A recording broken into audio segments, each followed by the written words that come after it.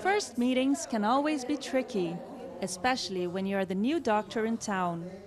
For Isoel Gomes Molina, this is a chance to say hello to local people in Viveiros, in Bahia.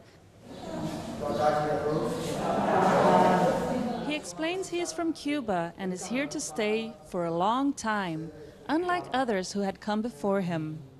For Dr. Isoel is one of the many foreign doctors brought to Brazil under the government's so-called Mais Médicos, or More Doctors program. The aim is to make up a huge gap in the health service, especially in poorer parts of the country. People here are quick to register for their first appointments.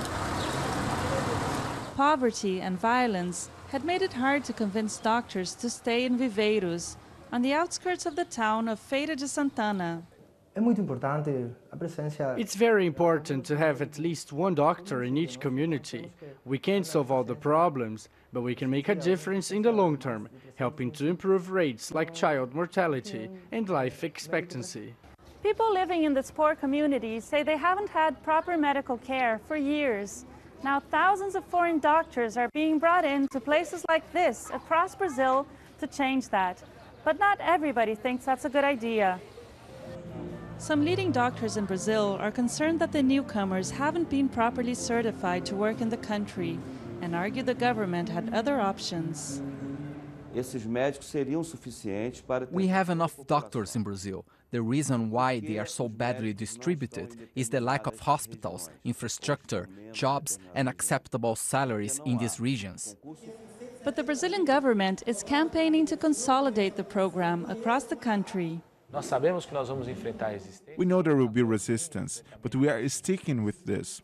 Nothing justifies not taking a doctor to these communities. Whatever the situation, he will make a difference and will help organize the health system in the area.